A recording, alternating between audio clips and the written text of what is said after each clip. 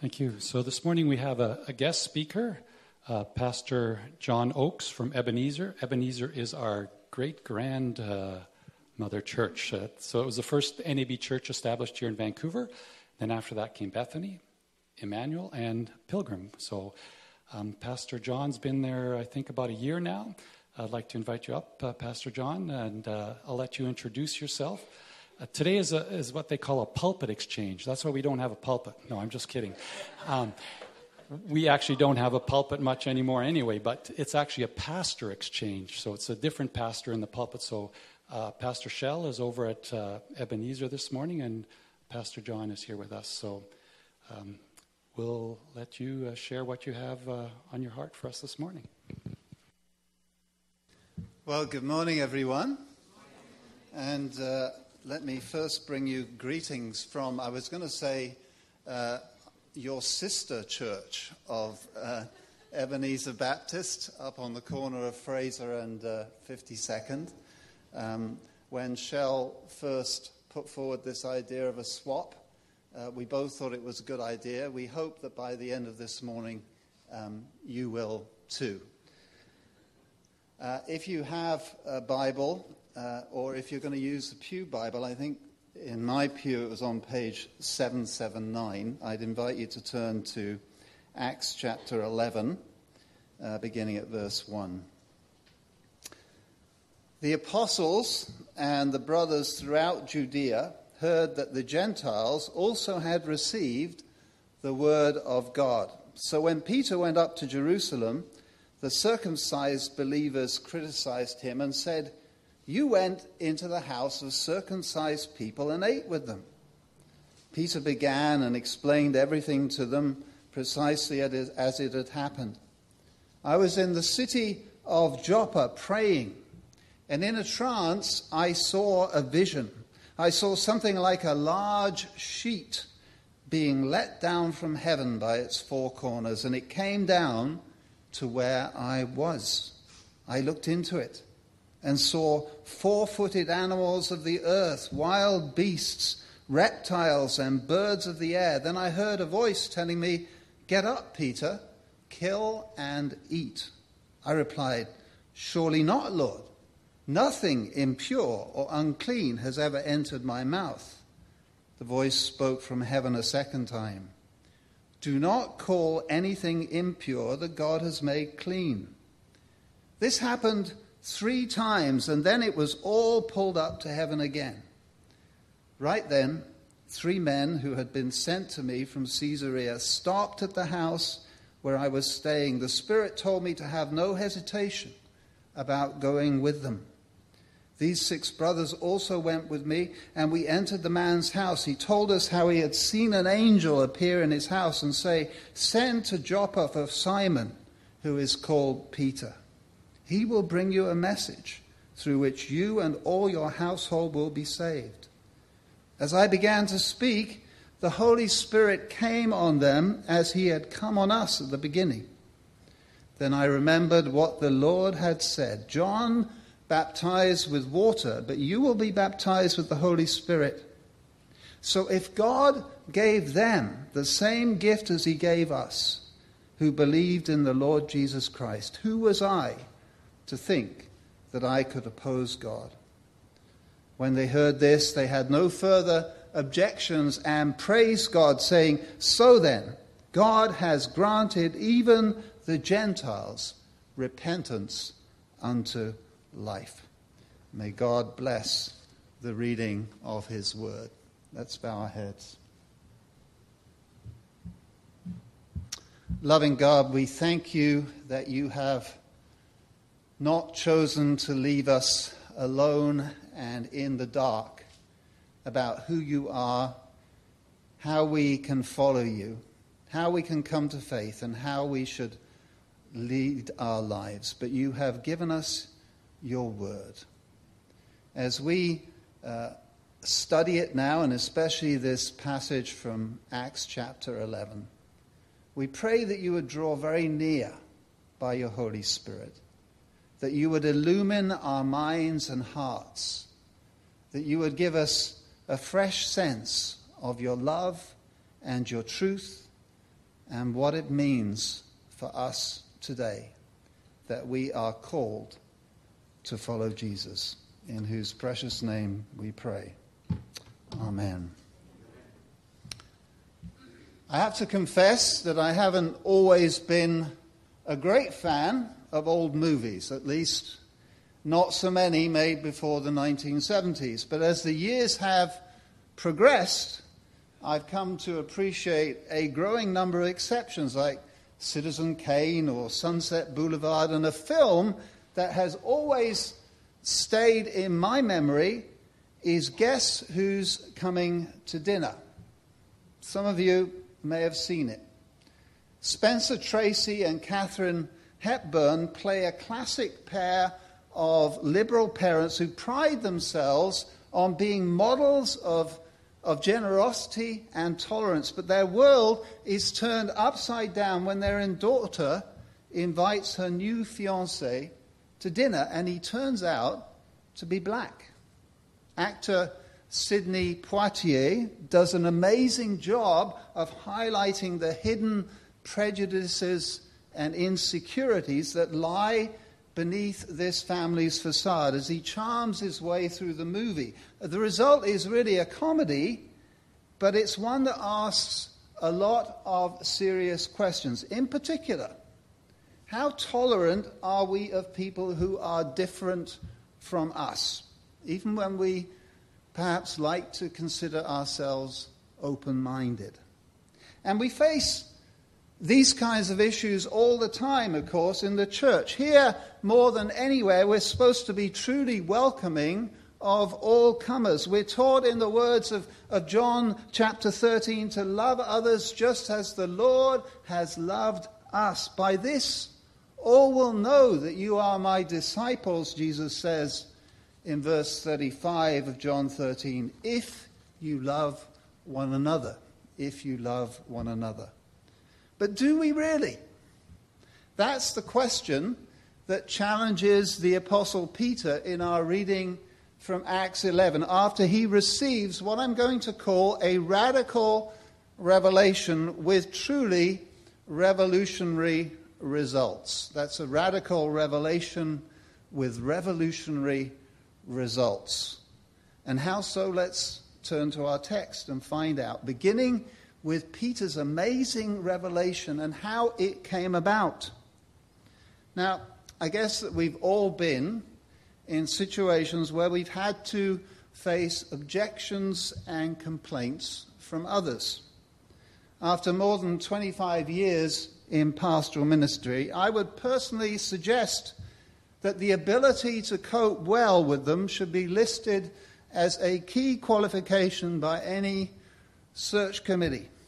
To give you just one example from my own experience, I can still vividly recall my first Sunday at one church where one of its senior members greeted me at the door after the main morning service with a smile and told me that I was only there for the money Rather a strange comment to make to a pastor. And I wasn't half as clever as I thought I was. My reply on that occasion was simply to thank this lady for her feedback. What else could I do? But not all complaints demand a diplomatic response, especially in a situation like that faced by the Apostle Peter in Acts 11, where other believers are strongly criticizing his ministry for making changes, major changes, in church practice.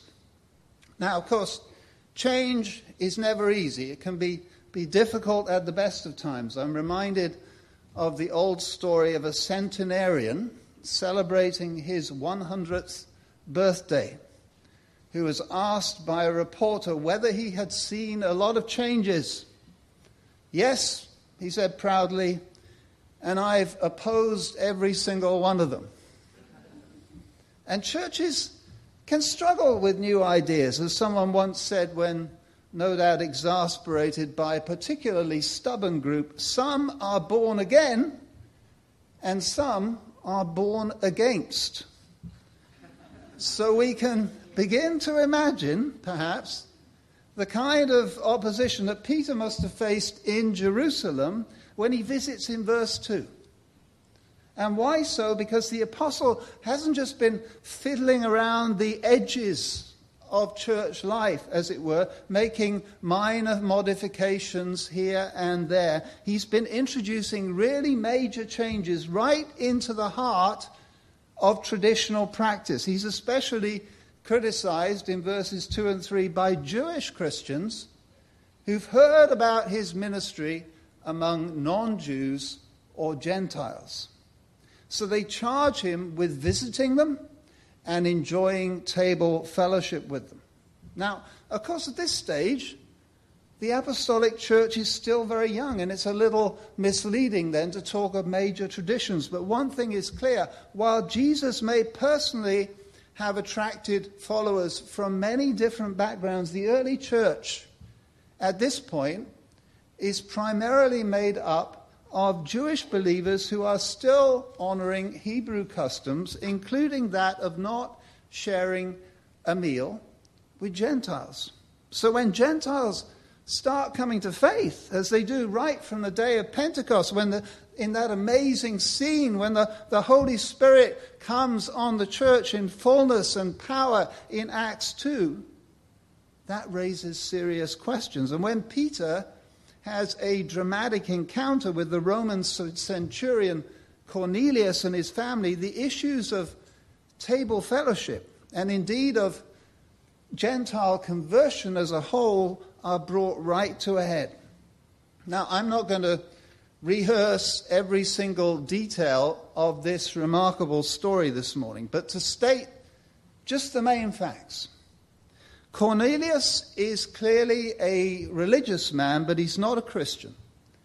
He lives in the northern coastal town of Caesarea, about 125 kilometers from Jerusalem by modern roads. He's praying one afternoon when he receives a vision from God in which an angel tells him to send for the Apostle Peter, who's staying in a place called Joppa, another city, about 60 kilometers to the south. Not surprisingly, Cornelius does what he's told. I suspect that most of us would if we ever got a message like that, although we might be a little surprised that we got it at all. But before his messengers even arrive in Joppa, Peter gets a radical revelation of his own. According to his account of events in verse 4 following of our passage, he's in prayer. He's in prayer when he sees a vision in a trance. And what's it all about? Well, at first, it may read like something out of an adventure or a or even a horror movie. Jurassic Park meets Alien, perhaps. But it's much more serious than that. He sees something like a large sheet descend from the sky, and on it there's a kind of cornucopia, a glorious mixture of forbidden animal foodstuffs, at least from an Old Testament point of view, all apparently still alive and kicking.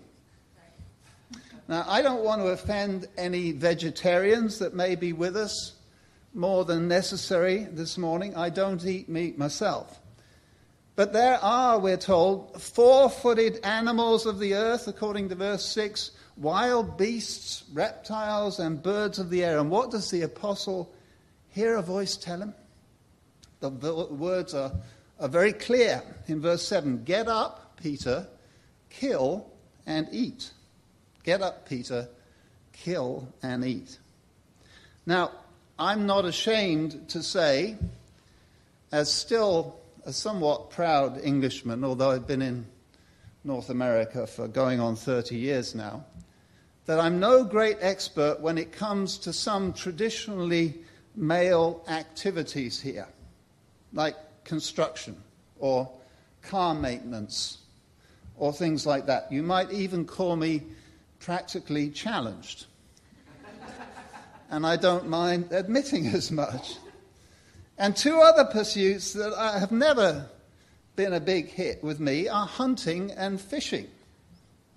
I've not been hunting at all, and I can only remember two occasions as a child when I tried fishing. The major problem both times was that I didn't really want to catch anything because I was afraid to pull the fish off the hook.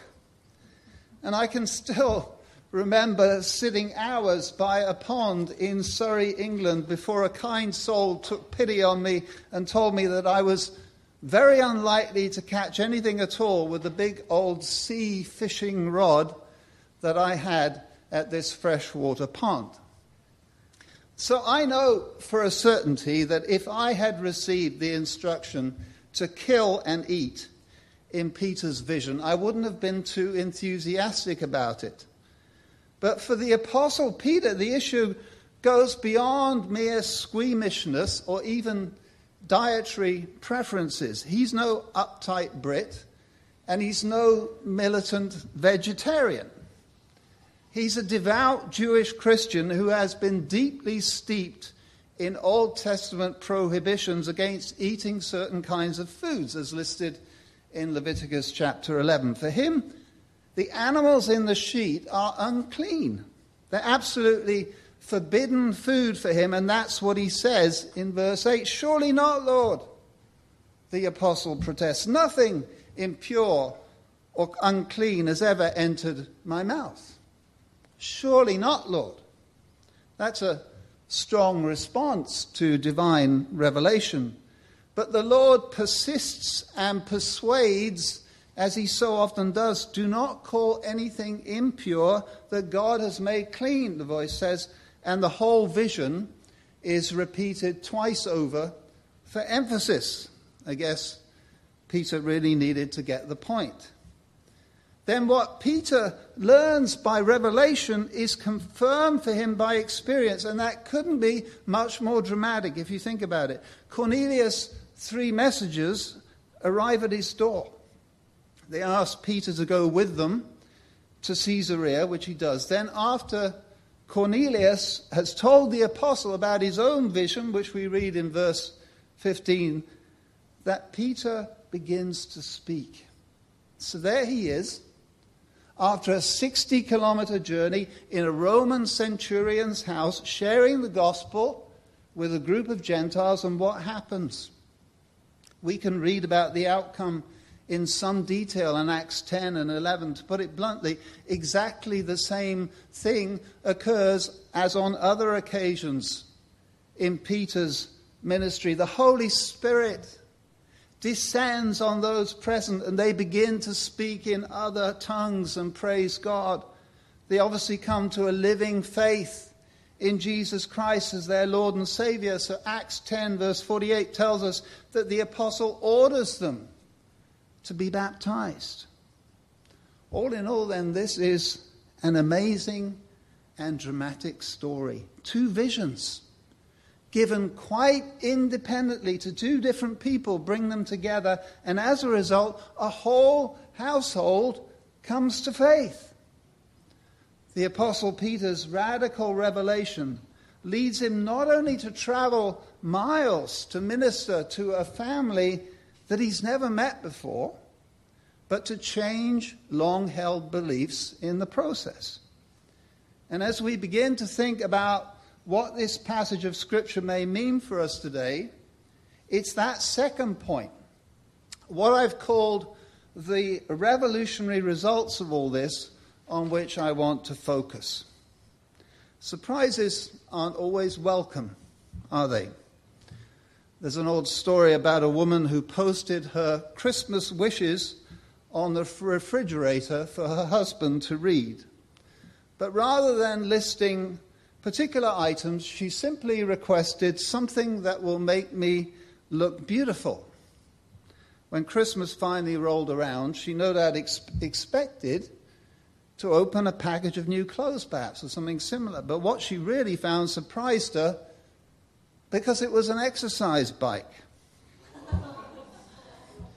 the Houston Post once told another tale about a young man from a, a wealthy family who was about to graduate from high school.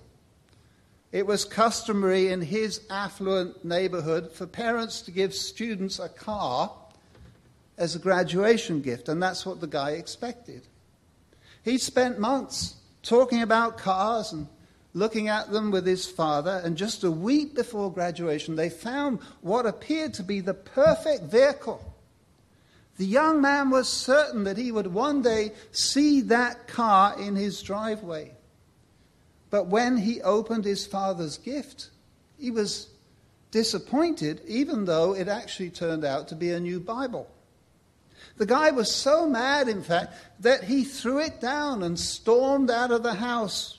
And he never reconciled with his father until he died. But as the son went through his dad's belongings after the funeral, he was in for a big surprise. He came across the Bible that his father had given him years before. He brushed off the dust and opened it. And to his shock and horror, he found a cashier's check hidden between the pages. It was dated the day of his graduation and was for the exact amount of the car that he and his father had chosen together. This may be a rather corny story, perhaps. A lot of my illustrations are. But it reminds us of an important truth. For our Heavenly Father is very much a God of surprises, good surprises, great surprises. And many of them are to be found in the pages of Scripture if only we will dig deeply enough. And as we turn to consider the truly revolutionary results of God's revelations to Peter in Acts 10 and 11, God's word repeatedly plays an important part. Not only in direct communication through visions, but in the apostles' memory. For it's as Peter sees the work of the Holy Spirit among Cornelius' household that he remembers the words of Jesus, which are first reported in Acts 1. John baptized with water, but you will be baptized with the Holy Spirit. John baptized with water, but you will be baptized with the Holy Spirit. That's what ultimately convinces him, according to verses 16 through 18 that Gentiles too are becoming Christians. So they're to be welcomed into the church because he's seen them come to faith. He's seen them be filled with the Holy Spirit with his own eyes. And we should be very careful lest we underestimate the dramatic importance of this development.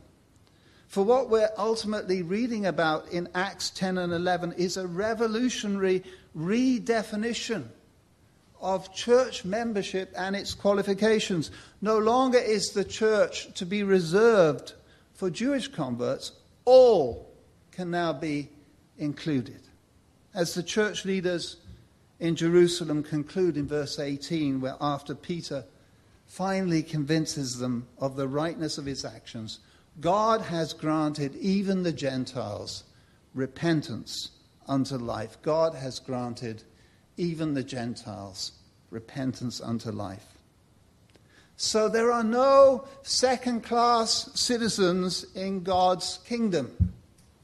There are to be free admission and a warm welcome for all who come to saving faith in Christ and all who are seeking Christ. Old Testament dietary prohibitions no longer apply, nor do outdated regulations about not sharing food with the uncircumcised. Instead, all are to be invited to fellowship. All who know Jesus are to be received as they are, just as they've been blessed by the wonderful gift of the Holy Spirit. These are the revolutionary results of what happens in Acts 10 and Acts 11, and they continue to impact us today, I think. So, as we begin to draw to a close, I want to offer a few last thoughts about how this may still challenge us personally. Whatever the problems of the past, and I don't want to get into those this morning, I know of no church in Canada today that systematically excludes or abuses people because of their ethnic or racial background. We have other criteria, of course, And Baptists tend to be somewhat stricter about membership requirements, for example, than many others. But even if some of us are better at it than others, we all recognize the need to be open and welcoming to newcomers because we're striving to follow the teaching and example of Christ Himself. Jesus calls all His followers to love each other as He loved us, and one of the most striking features of His life and ministry is how He made Himself open, how He was prepared to reach out to all comers. He excluded no one for failing to meet established social, cultural, or even religious standards, and he actively sought out those whom society otherwise marginalized or neglected. So much so that he was judged.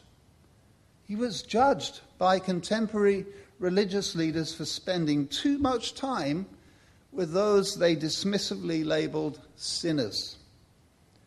But I wonder how faithful we always are to his example. How welcoming are we towards those whose lifestyles we disapprove of, for example, or who are perhaps in reduced social circumstances, or who are particularly demanding of our time and attention?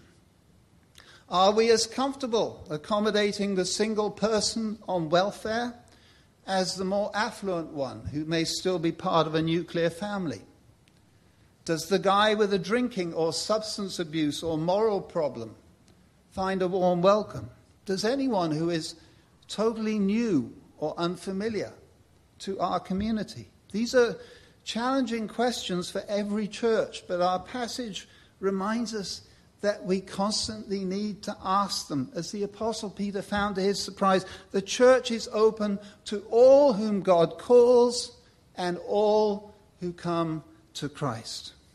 Let me close, and I really will close this time, with another story from a much more recent movie. I've never actually seen it, and I rarely recommend films from the pulpit, but basically, My Big Fat Greek Wedding is a comedy based on the real life experiences of the Greek American actress Nia Vardalos. Tula Portokalos, who's paid by Nia, is the daughter of a, of a restaurateur who owns the Dancing Zorba restaurant in Chicago. At 30 years of age, this, this single woman seems destined perhaps to be a hostess in her father's restaurant for the rest of her life. But Tula has dreams of, of getting a college degree, and she wants to fall in love. She meets Ian Miller, a long haired English teacher, and they immediately hit it off. But as their relationship develops, Tula becomes increasingly concerned that because Ian isn't Greek, her parents won't approve of the relationship. She persists in persuading her family that she has found the man of her dreams. But even though they gradually consent to their daughter's choice, the family insists that Ian adopt their Greek culture and faith.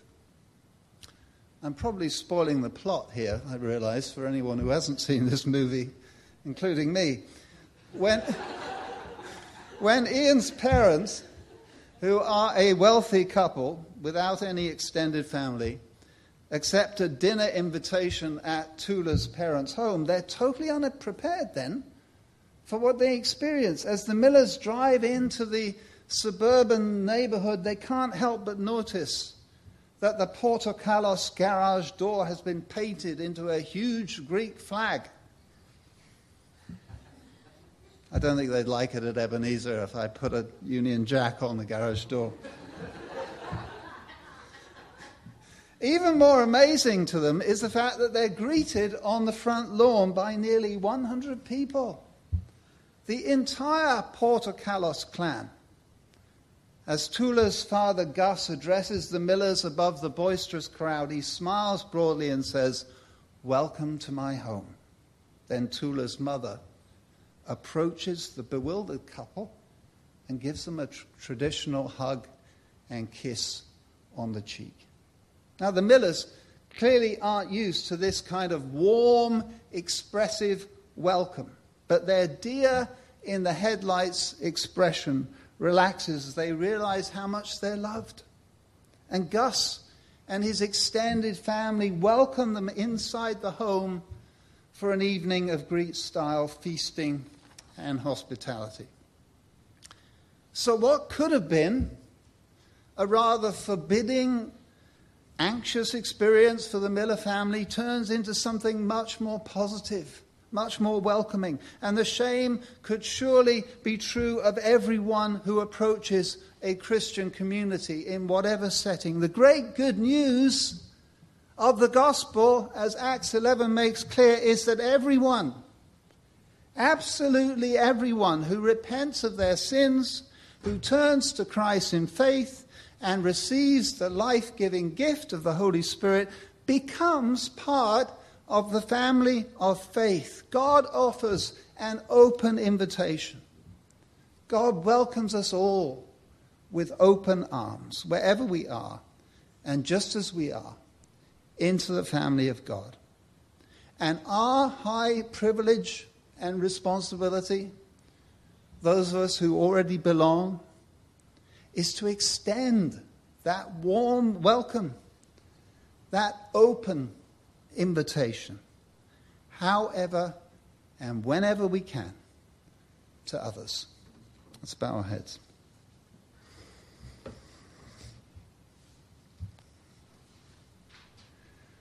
Loving God, we thank you for how your word can speak to us still today.